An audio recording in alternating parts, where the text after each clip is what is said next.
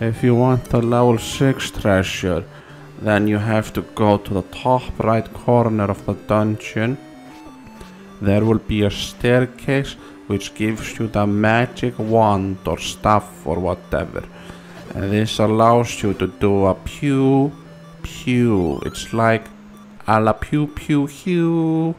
You can equip it and use a shoot a bang, shoot a bang. So if you want to shoot a bang, get some magic key.